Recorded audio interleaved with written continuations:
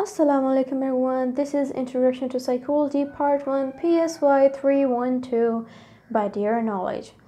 Today in this video we will be studying the case history method or you can say it's a case study methods in the methods of psychology.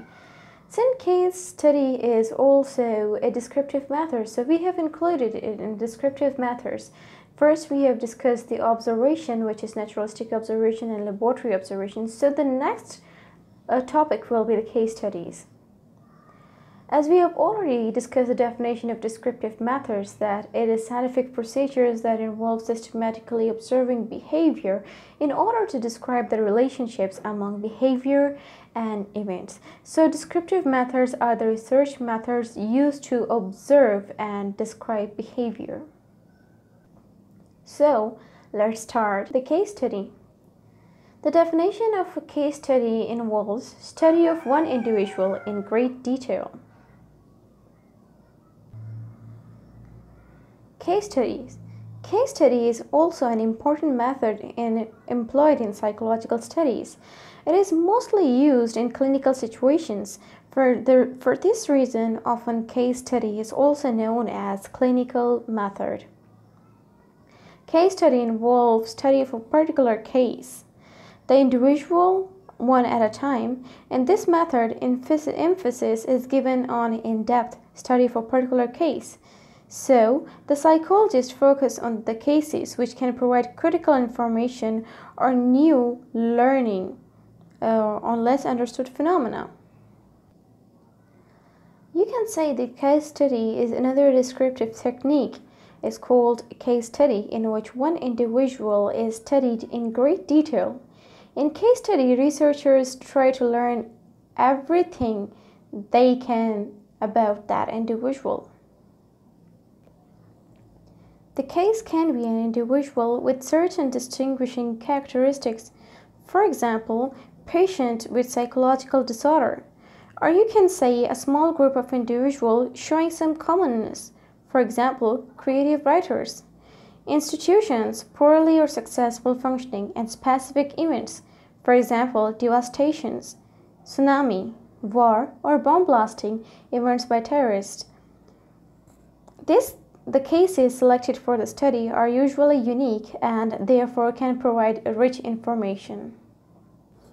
Case study method in clinical cases involve preparation of the uh, life history of the case by collecting information from various sources.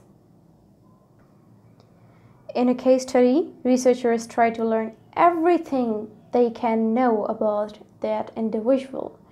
For example, Sigmund Freud based his entire theory of psychoanalysis on his numerous case studies of his patients, in which he gathered psychoanalysis and gathered information uh, about their childhoods and relationships with others from the very beginning of their life to the present.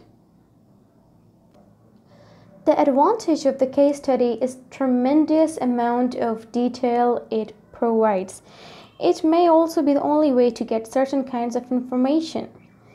For example, one of the famous case study was the story of Phineas Gage, who had a red uh, railroad spike driven through his head and suffered a major personality change as a result. So researchers couldn't study that with naturalistic observations and an experiment is out of the question.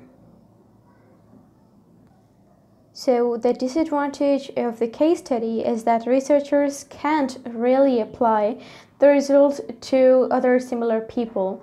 In other words, they can't assume that if one person had the same kind of experiences growing up that he or she would turn or just like the person in the other case study. So people are unique and have too many complicating factors in their life to be mm, to be that predictable. So what researchers find in one case and won't necessarily apply or generalize to another or to other cases. So this was the disadvantages of the case studies. This was the end of the video. If you like the video, you got your concept, your concept was clear, you can like the video. And to stay notified for the upcoming videos, you can subscribe our channel you can share this video so other people can get help because sharing is caring. Till then, Allah Hafiz.